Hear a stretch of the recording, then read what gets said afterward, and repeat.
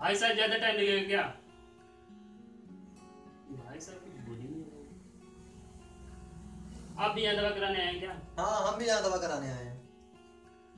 भाई साहब आप भी यहाँ दवा कराने आए हैं क्या? हम यहाँ के कंपाउंडर हैं। क्या बोला? अरे यार हम यहाँ के कंपाउंडर हैं। शकल से तो आप मरीज़ लग रहे हैं। क्या बोला?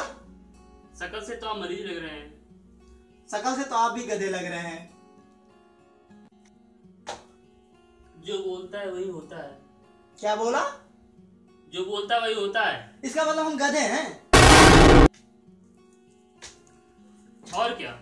देखो ऐसा है दिखाने आए हो तो तमीज से दिखाओ नहीं तो फेंक देंगे वो बाहर उठा के। तो भाई साहब आप भड़क क्यों रहे हैं? इतना आप गरमा क्यों रहे हैं? आप मरीज़ की कुर्सी पर बैठे हैं इसलिए मैंने बोला। अगर आप कंपाउंडर हैं तो बैठे क्यों हैं? बैठने के पैसे लेते हैं क्या आप? तो क्या हम मरीज़ की कुर्सी पर नहीं बैठ सकते हैं क्या? नहीं है हमारा दिमाग मत चाटो नहीं तो हमारा दिमाग इतना गर्म है इतना गर्म है कि अगर ये चाटोगे ना तो एक एक करके सबकी ज़ुबान जल जाएगी। बोलो। बहुत वाहियात आदमी हो यार कैसे कंपाउंडर है यार? यहाँ कौन इसको लाके बैठा दिया?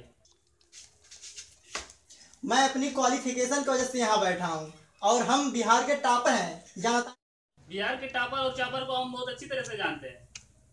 बहुत लोग जेल में जाके पढ़े हैं आप यहाँ क्यों बैठे हैं? कुर्सी पे आके कंपाउंडर